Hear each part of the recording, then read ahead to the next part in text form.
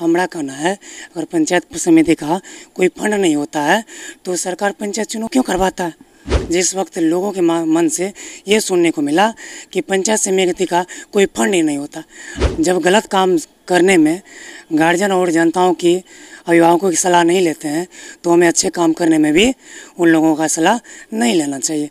उन लोगों को भी दिखाना है, जो लोग ये बोल देते हैं कि हमारे ये हैं, हमारे वो है, आपकी उम्र कम है, आप उसके योग नहीं है।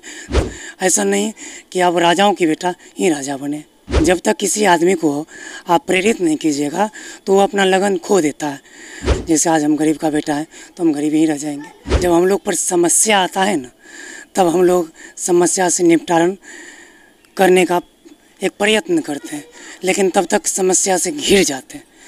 मधेपुरा संचार डॉट कॉम देख रहे हैं आप, मैं हूँ आपके साथ मनदीप कुमार। पंचायत चुनाव 2021 में बदलाव तो काफ़ी संख्या में हो रही है। अगर किसी भी पद को लेकर बात करें, चाहे वो मुखिया पद की हो या फिर पंचायत समिति पद के हो या फिर वार्ड सदस्य, कहीं ना कहीं नए चेहरे देखने को ज़रूर मिल रहे हैं। और अगर युवा इस चीज़ में अपना हिस्सेदारी दे तो कहीं ना कहीं जो पीढ़ी है युवाओं की, जो पीढ़ी है, युवा है पंचायत में या फिर क्षेत्र में, कहीं ना कहीं उनको भी इसका लाभ बेहतर तरीके से मिलेगा। हमारे साथ अभी कोल्हापट्टी पंचायत से समिति प्रत्याशी, इन्होंने आज अपना नामांकन दाखिला किया है मुरलीगंज प्रखंड में। दिलखुश कुमार मालाकार नाम है इनका और युवा हैं। इनसे जानते हैं कि आपने आज नामांकन दाखिल किया, ऐसा क्या, जिस उम्र में जो है युवा अक्सर जो है मस्ती करने का समय बिताते हैं या फिर पढ़ाई में अपना समय व्यतीत करते हैं, आप समाज सेवा में बीते दिनों, कोरोना के समय में भी आप जो है लोगों के बीच बढ़ चढ़ कर हिस्सा दिए, उनके दुख में जो है काफ़ी सहयोग किए। जी, पहले तो सर्वप्रथम आपके चैनल को या दर्शकों सारे को मैं दिल से हार्दिक बधाई देता हूँ और तमाम जनता मालिकों को भी। आपने सही बोले कि कोरोना काल में भी आपने जनताओं के बीच में रहे। देखिए, हम लोग गरीब किस्म के लोग हैं, सर। जब हम लोग पर समस्या आता है ना, तब हम लोग समस्या से निपटारण करने का एक प्रयत्न करते हैं। लेकिन तब तक समस्या से घिर जाते हैं। समस्या से घिरने का मतलब होता है कि आज पंचायती राज चुनाव का दौर चल रहा है।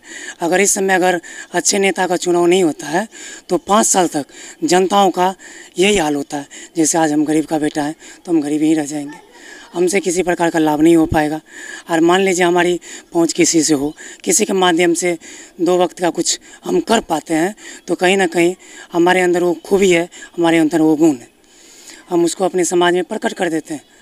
और मधेपुरा खास कर अगर मधेपुरा की बात करें तो मधेपुरा में जो है, कहीं ना कहीं जो युवा का एक पंचायत मधेपुरा के है सोहगट्टू पंचायत, जिसमें युवा का इस तरह का बोलबाला रहा, जहाँ पर लोगों के द्वारा ये सुनने को मिला कि युवा है, कुछ नहीं कर पाएगा, ये चुनाव नहीं जीत पाएगा पहले ही यहाँ पर पंचायत में, इस पंचायत में कंपटीशन बहुत तेज़ है। और आप भी युवा हैं, उन्होंने भी जीत कर चुनाव दिखाया और उन्होंने कहा कि पंचायत में ही नहीं, मधेपुरा ही नहीं, बल्कि पूरे कोसी सहित बिहार में नाम रोशन करेंगे पंचायत का। अगर आपको जनता मौका देती है तो क्या करेंगे?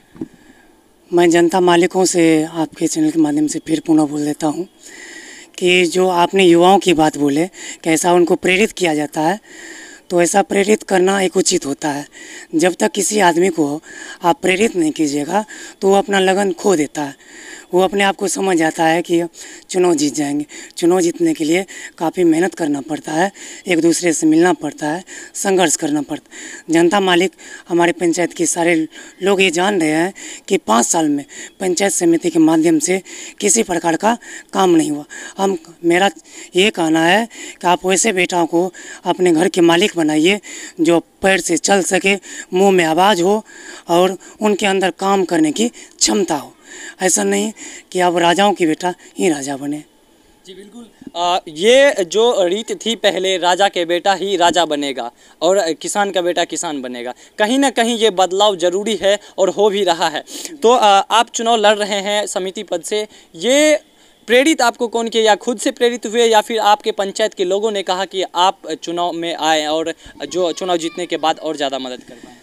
देखिए, ना ही तो पहले तो जनता के माध्यम से हमें प्रेरित नहीं किया गया।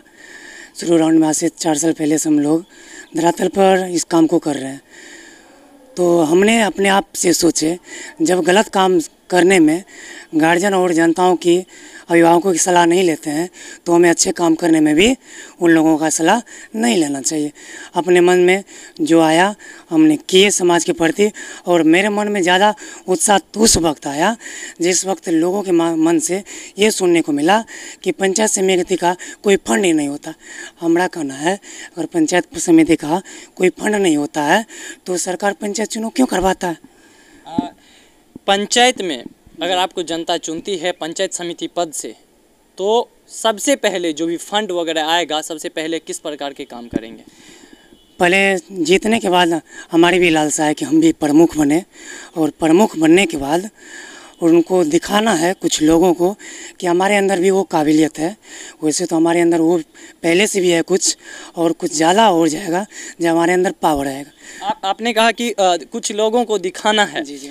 ये कुछ लोगों को दिखाना है या फिर समाज को कुछ करके दिखाना है? समाज को करके तो दिखाना है ही, समाज को दिखा भी रहे हैं, उन लोगों को भी दिखाना है, जो लोग ये बोल देते हैं कि हमारे ये हैं, हमारे वो है, आपकी उम्र कम है, आप उसके योग नहीं है तो मैं उनको चैनल के माध्यम से बता देना चाहता हूँ, मैं ग्रेजुएट आदमी हूँ, और हमारी सोच उन नेताओं से ऊपर है, हमें इस प्रखंड में ही नहीं, हम प्रखंड से ऊपर जाने की हमारी सोच है, और हमारे समाज की एक नई अति संगठन भी बन चुकी है।